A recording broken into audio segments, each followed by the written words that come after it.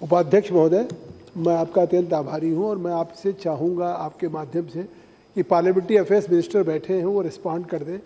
हमारी constituency UP की भारत नेपाल की सीमा से एडजॉइनिंग है। नेपाल की नदियाँ भारत में आती हैं, बानगंगा है, कोसी है, करनाली, जलकुंडी। आज की घटना है जिसका मैं उल्लेख करना चाहता हूँ कि बानगंगा जो नेपाल से आती है उसको टूटने के कारण और उन्होंने जो पानी नेपाल ने छोड़ा है उसके नाते पूरे भारत के सिद्धार्थनगर के जो सीमावर्ती गाँव हैं जैसे मसीना है पतिया है डोहरिया बुज़ुर्ग है और सिमरा है बगलहवा है ये सारे गाँव जलमग्न हो गए हैं मैं आपके माध्यम से अनुरोध करना चाहता हूँ कि ये नेपाल की सरकार से बात करें Okay. क्योंकि अगर नेपाल का पानी लगातार आएगा तो एक तरफ़ अतिवृष्टि से बाढ़ से. मैं एक मिनट में खत्म कर दूँ आधे मिनट में अतिवृष्टि से और पानी से लगातार